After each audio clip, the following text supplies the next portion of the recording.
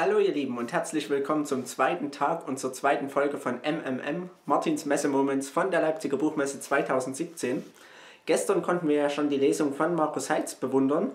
Heute geht es jetzt richtig los mit der Buchmesse und äh, mit ganz vielen tollen Messemomenten. Bevor wir aber richtig starten, zeige ich euch erstmal, womit ich für die gute Verpflegung zwischendurch gesorgt habe, denn ich finde, gesunde Ernährung ist besonders auf der Buchmesse ganz, ganz wichtig. Und deshalb zeige ich euch jetzt mal, was ich dafür getan habe, dass alle Blogger, die mich treffen, sich richtig gesund ernähren können. Ich habe gerade jede Menge Mini-Goodie-Bags zusammengetackert und wenn ihr mich heute auf der Messe oder überhaupt die Tage auf der Messe ansprecht und mich seht, dann könnt ihr natürlich eine bekommen, weil die liegen definitiv nicht in der Blogger-Lounge rum. Da Ernährung auf der Buchmesse natürlich ganz wichtig ist, gibt es diese kleinen Bären heute gemeinsam mit meinem Lesezeichen hier. Und ja, wie gesagt, wenn ihr eins haben wollt, einfach Bescheid sagen. Ich werde sie nicht irgendwo hinlegen. Normale Visitenkarten und Lesezeichen. Normale Visitenkarten und Lesezeichen, die wird es allerdings äh, bestimmt in der Blogger Lounge oder bei dem einen oder anderen anderen Stand äh, irgendwo geben. Ähm, ja, ich freue mich jetzt auf jeden Fall schon mal auf den Tag und bis später dann. Ja, und nachdem jetzt für die Ernährung gesorgt ist, ähm, zeige ich euch, womit ich mich am ersten Messetag so beschäftigt habe. Ähm, erfahrungsgemäß äh, ist ja der Donnerstag immer so ein Tag oder auch in, in Frankfurt ist das ja der Mittwoch, wo man sich immer erstmal so eingewöhnen muss, wo man wieder erstmal ankommen muss und sich zurechtfinden muss und so weiter.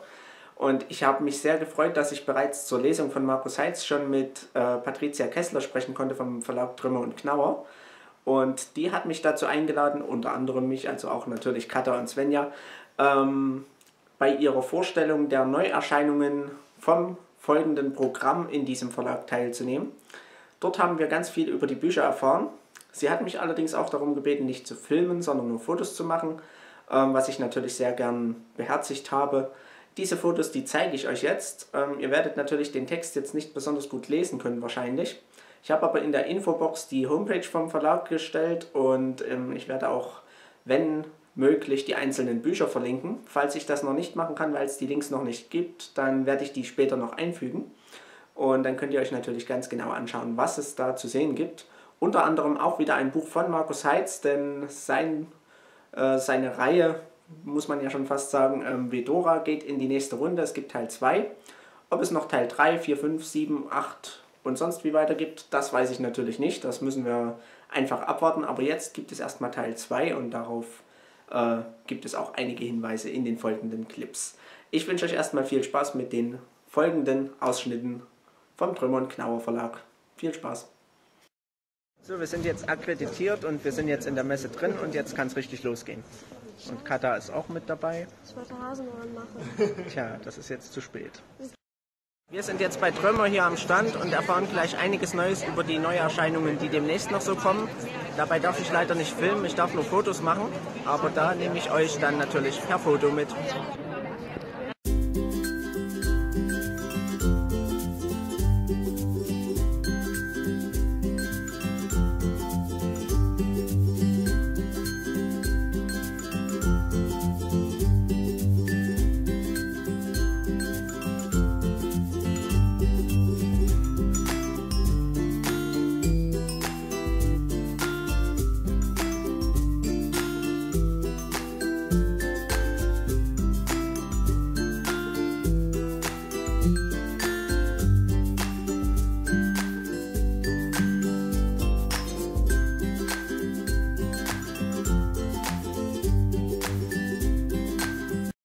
Natürlich waren wir auch so noch ein bisschen auf der Buchmesse unterwegs. Was wir dort so gesehen haben, das zeige ich euch jetzt und wünsche euch ganz viel Spaß damit.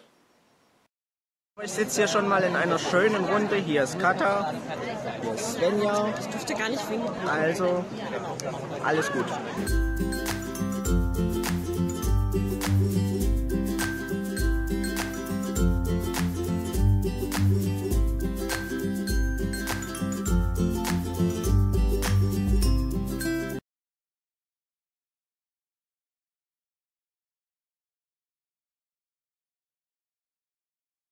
Wir machen jetzt gleich noch Selfies mit Markus Heitz, haben uns schon einen schönen Hintergrund rausgesucht. Da ist er. Und mal sehen, ob jetzt ein paar gute Fotos zustande kommen.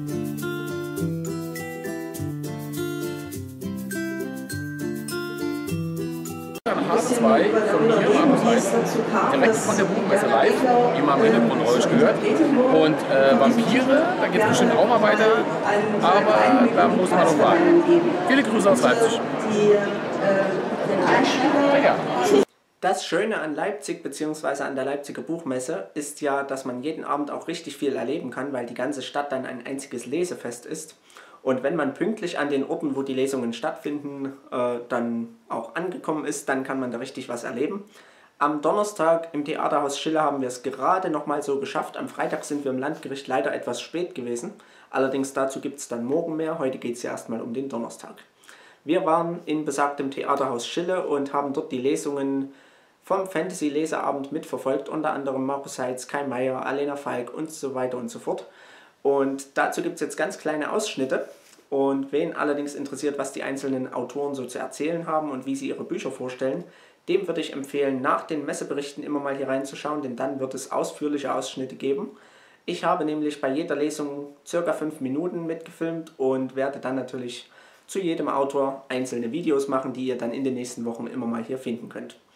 Ja, und jetzt wünsche ich euch erstmal viel Spaß mit einer kleinen Zusammenfassung vom Fantasy Leserabend und wir sehen uns dann gleich nochmal wieder. Ähm, ja, ich habe sehr lange überlegt, was ich heute Abend lesen soll und was ich so erzählen soll. Und mir wurde gesagt, dass es die Leute immer am meisten interessiert, wie so ein Buch entsteht und wie der Schreibprozess ist. Also man will eigentlich in den Kopf des Autors gucken. Ja, ich glaube, wenn die meisten Leute wüssten, wie es in unseren Köpfen aussieht, würden sie das nicht sagen. ähm, ich verrate das auch meistens nicht, aber die Leute, viele Leute, die heute hier sind, kennen ja diese dunklen Abgründe sehr gut, die in unserer Seele lauern. Und äh, deswegen gebe ich heute mal einen kleinen Einblick. ähm, also wenn jetzt noch jemand gehen möchte, so die letzte Chance wäre es jetzt. Und äh, ja gut, also bei mir wird es auch nicht so schlimm. Ich bin ja nicht George R. R. Martin, auch wenn manche Leser mir das manchmal vorwerfen. Vor allem die, die mein geheimes Motto kennen. Das ist wie gesagt geheim, das verrate ich sonst auch nicht. Heute verrate ich es mal. Und zwar ist mein Motto, nur ein toter Love Interest ist ein guter Love Interest. Ähm, das mache ich auch immer als erstes, wenn ich ein Exposé für einen neuen Roman schreibe. Ich bringe als erstes mal den Mann um. Ähm, da kann man auch eben einfach die Frau im Liebesroman am allerschönsten quälen, wenn man erstmal den Mann umbringt. Ähm, natürlich macht man sich oft ein bisschen zu leicht, wenn man Figuren tötet. Das ist manchmal so der leichteste Ausweg und nicht so elegant. Und vor allem kann man das auch nicht in jedem Buch machen. Also ich kann jetzt nicht in jedem meiner Romane immer den Love Interest umbringen. Deswegen ändere ich das dann meistens wieder. So. ähm, bei Sternensturm habe ich einen ganz besonders guten Love Interest. Der ist nämlich von Anfang an tot.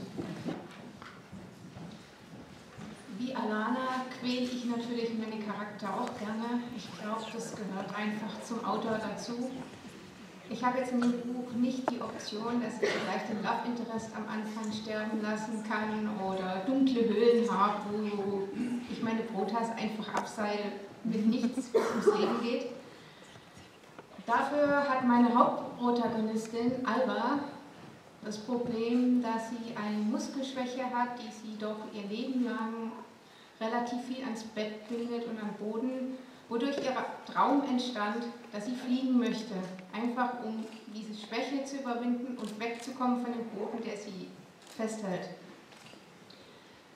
Bis jetzt war Albers Leben eigentlich relativ ereignislos. Klar, sie bastelt ihre Flügel und so weiter, aber das ändert sich jetzt. Und zwar nicht für Alba, sondern die ganze Stadt Isstedt, ein Stadtstaat, wo jetzt was passiert. Für einen Moment erstarb das Heulen des Sturms und in die Stille hinein erklangen die seit Jahrzehnten verstummten Glocken. Alba ließ Aale und Ledergurt auf den Tisch fallen, sprang auf und eilte zum Fenster. Krieg war das Erste, das ihr durch den Kopf schoss, aber die Beziehungen Istedts zu den Nachbarstaaten waren ihres Wissens gut. Vielleicht war die Tein nach all dem Regen über die Ufer getreten. Dann fiel ihr die Ursache der letzten Katastrophe. In das Teufelsgebietbuch ähm, ist jetzt ja ziemlich klar, dass es um Kartenspiel geht. Und der Ansatz war für mich ziemlich einfach. Ähm, Im Grunde, das wissen wir alle, die Geschichten erzählen, war irgendwie alles schon mal da. Und die spannende Frage ist, wie finde ich was, was die Leute zwar kennen, aber so noch nicht gesehen haben. Und ich saß so rum, spielte Karten und äh, da bekam ich äh, der spontane äh, Gedanke, wo kommt das Kartenspiel eigentlich her, historisch betrachtet? Ähm, ich habe mal Geschichte, Germanistik studiert, das muss man nicht machen, Bücher zu schreiben. Ja? Also man kann, jeder, jeder kann das mal so machen, das muss man nicht. Aber das Schöne ist, man lernt beim Geschichtsstudium immer zu hinterfragen, wo kommt was her. Und ich habe mich gefragt, ja, wo kommt das Kartenspiel her? Und im Vorfeld des Buchs habe ich dann immer so einen Test gemacht äh, bei den Zuhörern. Wer spielt Karten? Jo, haben sich 99,9% gemeldet, egal ob Mau, Kanaster, Bridge, Omi, Quartett, Magic, ist auch ein Kartenspiel, ja. Also völlig schnurz, Hauptsache Karten.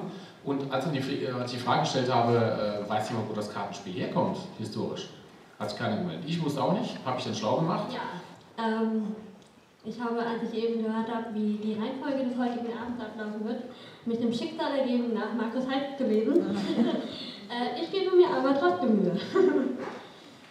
ja, ähm, ich würde gerne etwas aufnehmen, was Natalia während der Verleihung des Terraft ähm, schon erwähnt hat, nämlich dass ähm, Literatur, sei es jetzt politischer oder fantastischer Natur oder ganz anderer, eben in vielen Ländern keine Selbstverständlichkeit ist dass es ein Gut ist, das wir uns bewahren müssen, für das wir kämpfen müssen und ähm, das auch die Freiheit von uns ausdrückt.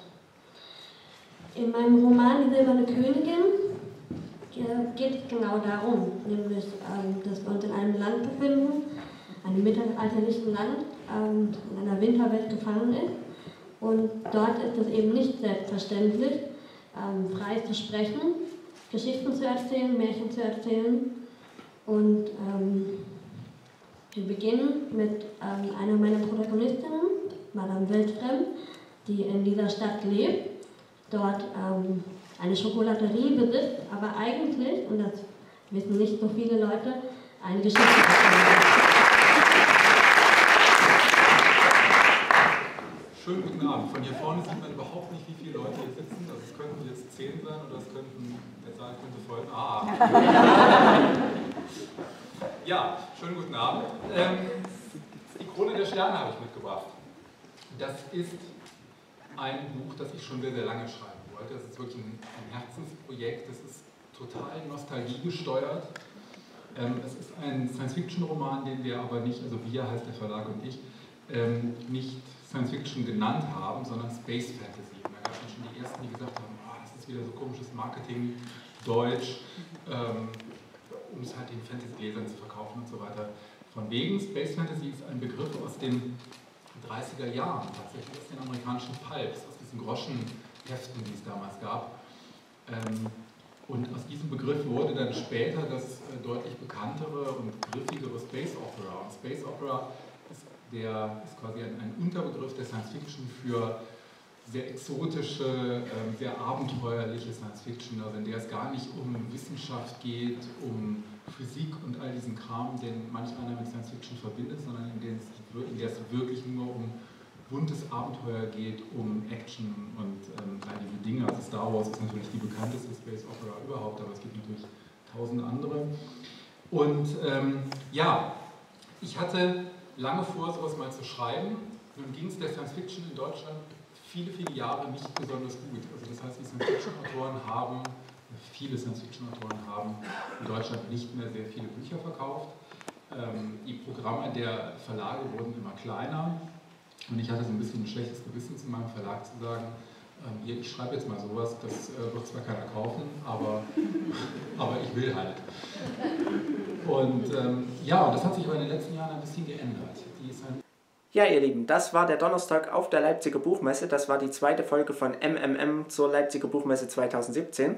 Ich hoffe, ihr hattet auch heute wieder Spaß, habt gern reingeschaut und wenn ihr wollt, könnt ihr gern morgen noch mehr sehen. Dann folgt nämlich der Freitag. Dann erzähle ich euch, was wir gemacht haben, weil wir nicht ins Landgericht gekommen sind und demzufolge die Lesung von Sebastian Fitzek ver äh, verpasst haben. Falls ihr da neugierig seid, was unser Ersatzprogramm war und das noch nicht bei Instagram äh, mitverfolgt habt, dann schaut einfach morgen wieder rein und dann gibt es dazu Hinweise. Ähm, ich wünsche euch jetzt erstmal noch einen wunderschönen Abend, einen schönen Tag, einen guten Morgen, was auch immer, wann ihr dieses Video seht. Ich hoffe, wir sehen uns bald wieder, wünsche euch noch was und sage Tschüss und bis bald.